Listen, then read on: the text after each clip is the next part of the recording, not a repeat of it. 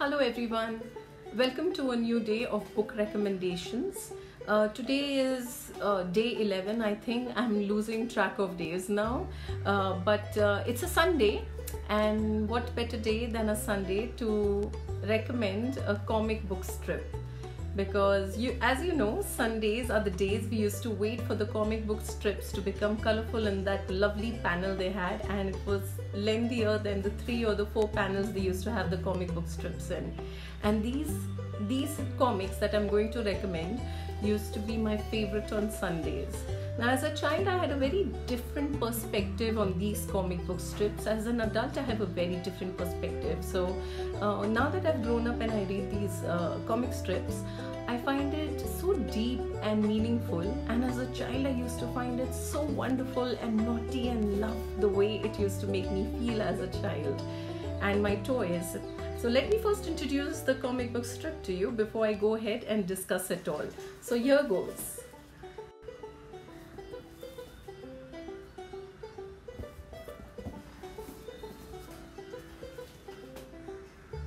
right here if you see the comic book strip you know which one i'm talking about yes i'm talking about calvin and hobbes and uh, comment and, and, let me know if that was your favorite book when you were a child now um, when I say a book, it also used to come in a book format, but we used to definitely read it in the newspapers every day as a three panel segment. And on Sundays, it used to come in a colorful panel on the rest of the days, black and white. Now, Calvin and Hobbes touch upon touches upon various issues. Uh, sometimes it used to be environmental issues. Sometimes it used to be about education uh, of the kids and. Um, I think there were uh, a lot of opinion polls with his dad, etc., that were a part of it, and also philosophical questions uh, that he used to discuss with his stuffed tiger. Now that I'm an adult, I call it a stuffed tiger, which was Hobbes. Uh, but when I was a child, yes, he had a pet tiger. That's how I used to see it as. And uh, uh, beyond philosophical issues, there used to be a little touch of political issues as well. And we are here right now in isolation, and we have always these big debates going on about political issues, not just about our country, but other countries. And what better comic strip to enjoy your daily a day with?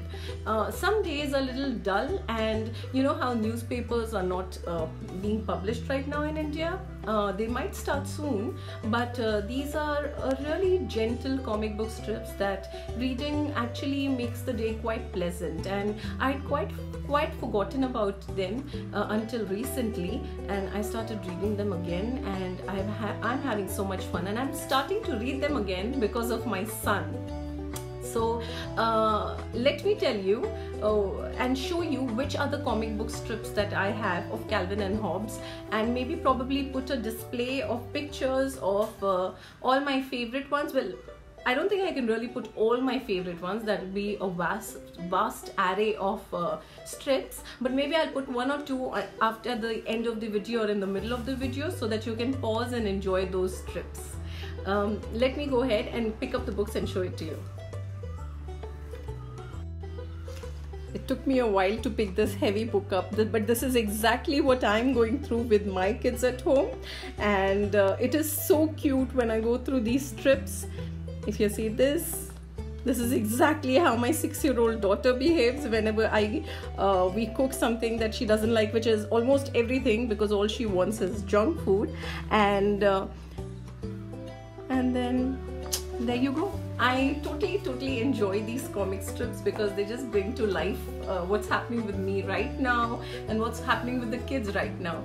Uh, I also really enjoy the environmentalism and the issues that uh, the author has picked up. So the illustrator is Bill Watterson, and what a fan I am of his. Uh, not only are these comic book strips uh, have been really popular in his times to this day. They stay relevant and they stay quite popular. So this comic was written in 1985 it was published in november 1985 and it went on till 31st december 1995 so it ran for 10 years with a little bit of hiatus here and there. And um, it ran in the uh, newspaper some american newspaper for a pretty long time So uh, let me tell you about the author. The illustrator is Bill Watterson. Although we cannot just call him an illustrator because, uh, because there's a lot of wordings written, and that's what gives life to these comics. He's also the author, and what a fantastic uh, comic strip he had created in 1985, which is still relevant to this day. Uh, the main characters of this comic strip are Calvin, who's a six year old boy and he has an anthropomorphic uh, tiger. He views it as a real tiger uh, with human traits as well as um, there is the mother and the father, mom and dad, and uh, these are the main characters. And there's this little neighbor girl called Susie, Susie Derkins, and um, there are other characters like his school teacher, Mrs. Wormwood, and um, there's a bully in his school. I forget the name now, uh, and. Um, snowmen come every now and then so quite an interesting book to, to read uh, comic again a comic now uh, like I said, uh, like I said, the author, the illustrator didn't really like a lot of merchandise around around uh, Calvin and Hobbes. So uh, if you see a lot of merchandise hanging around of Calvin and Hobbes, that's not really copyright to the author. Well, it is copyright, but it is illegal, and he he believes that the comic book. Uh, should be an art in itself and that should stand out and i so agree because these are so lovely and such lovely books that uh, comic strips that they should stand on its own. Uh, I think you should definitely have your kids read this comic strip and enjoy this together and maybe have a little discussion every day on a little comic strip. If it's uh, the comic strips vary with uh, the theme almost uh, with every panel. Sometimes they flow like a story, sometimes it's an independent strip. It's always an independent strip, but uh, he continues with the same theme uh, sometimes for a longer length of strips.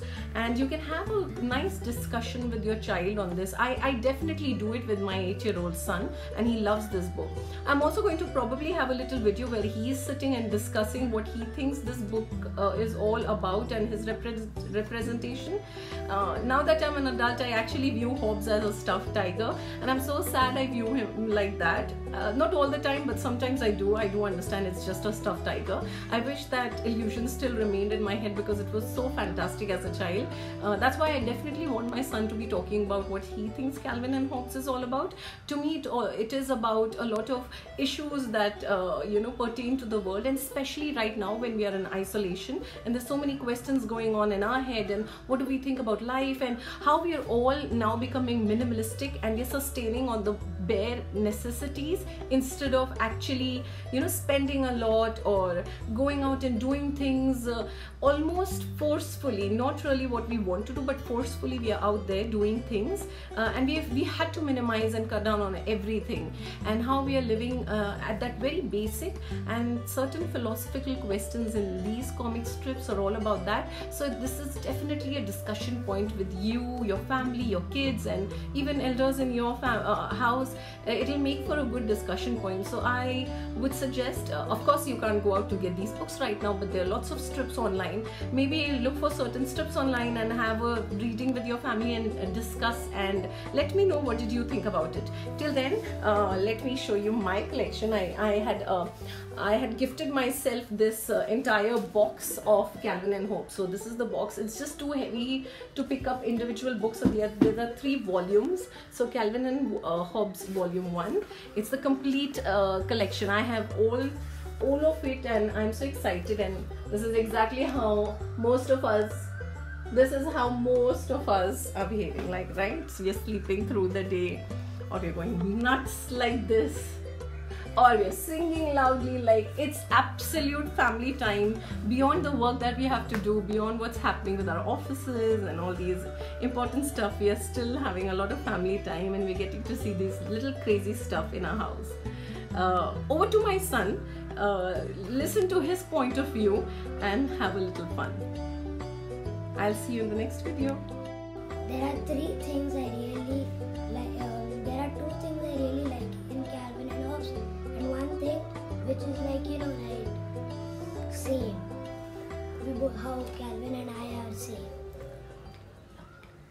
like it because one is it teaches me how to tease my parents a lot and the other one is see Calvin, he's afraid that um, monsters are under his bed at night. So when he thinks it, he also thinks that how can I overcome my overcome my fear, and then um, he overcomes his fear. And the similarity of me and Calvin is Calvin, he's just like me. Me and Calvin tease our parents, and then my sister is like Hobbes. She always annoys me a lot. Bye.